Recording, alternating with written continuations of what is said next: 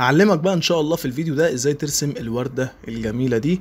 دي وردة مودرن أول حاجة هنعملها هنعمل لها تخطيط بالقلم الرصاص بس أنا ما صورتش التخطيط اللي بالقلم الرصاص علشان مش هيبان في التصوير خالص. فعملته برصاص وبنأكد مع بعض دلوقتي باللون الأسود. أظن التخطيط سهل جدا. والوردة دي أصلا سهلة جدا ما فيهاش أي حاجة صعبة.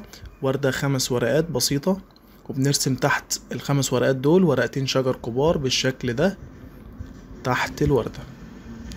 بعد ما بنرسم العناصر الأساسية دي بنجيب اللون البيج وبنيجي على شمال الوردة وبنحاول نعمل آه تمويه وتسييح للألوان. يعني عملنا الأول لون بيج مخلوط بالأسود بعد كده لون بيج مخلوط بالبني ودمجناهم في بعض. طبعا اللي فوق ده اللي هو المخلوط بالبني.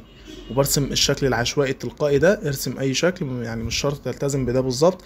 بعد كده بنجيب أسود تحت البيج آه اللي إحنا عملناه وبنضيف عليه الأخضر.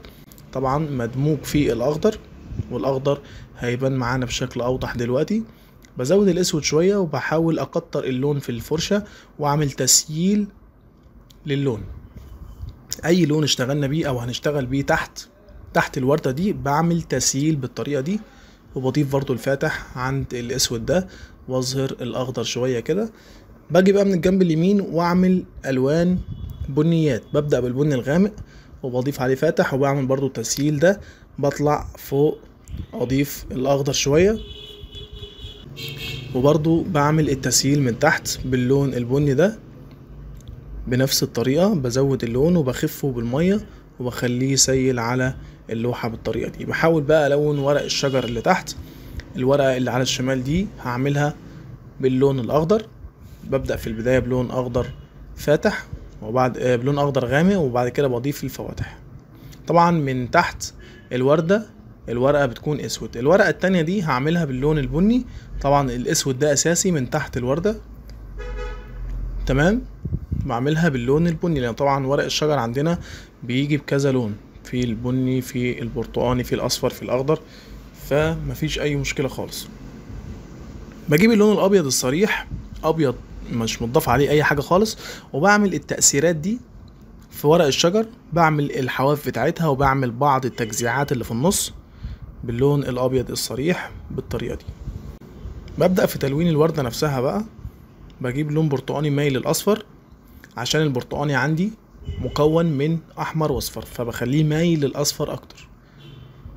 وبجيب الورقة كلها باللون البرتقاني ده وبعد كده بجيب اللون البني ومن تحت ببدأ أطلع لون بني واسيحه في البرتقاني بالطريقة دي. طبعا الوردة التانية برضو هشتغل بنفس الطريقة مع اختلاف الألوان حاجة بسيطة. ممكن اللون يبقى أصفر أكتر يبقى برتقاني أكتر أضيف الأحمر برضو مفيش مشكلة. طالما الألوان من نفس العيلة اللي أنا شغال فيها عيلة الألوان مفيش أي مشكلة. طبعا وردة سهلة وبسيطة جدا وطريقة العمل سهلة جدا. وبرضه لو أي حد عاوز يعرف أي حاجة أو في أي حاجة صعبة على أي حد يكتب لي في التعليقات وهتواصل معاه بشكل خاص وأي حاجة هنحلها مع بعض إن شاء الله. الورقة الرابعة اللي على اليمين دي هحاول أعمل لها تسهيل من آخرها عشان تندمج مع شكل الرسمة بتاعتنا. أعمل لها تسهيل. كده شكلها ممتاز. المهم إن قلب الوردة بتاعي بيكون أسود أو غامق.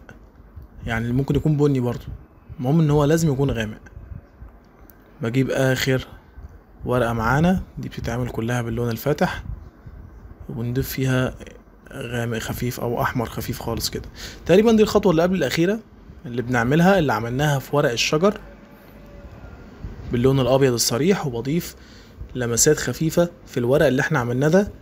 تقريبا الحواف كلها أو مش كلها بس يعني جزء كبير من الحواف بجيبه باللون الأبيض ده وبعض التجزيعات الخفيفة اللي موجودة داخل الورق ده بجيبها برضو باللون الأبيض ده. طبعا في أماكن معينة كده بحس إن لسعة الشمس شديدة فيها أو لسعة الإضاءة فبحاول أزود فيها الأبيض على قد ما بقدر زي الأماكن اللي بنعملها دي.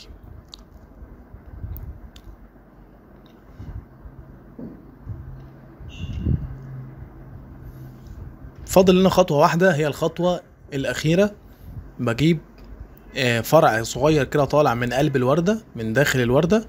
في البداية بعمله باللون الأبيض بعد كده بضيف له خط من تحت بالأسود وبعمل فيه شكل في نهايته كده زي زهور صغيرة بنفس ألوان الوردة اللي إحنا اشتغلناها دي. وكده يبقى خلص الفيديو بتاعنا وخلصت الرسمة. أتمنى أشوف رأيكم في التعليقات وأشوفكم الرسمة الجاية إن شاء الله. والسلام عليكم ورحمة الله وبركاته.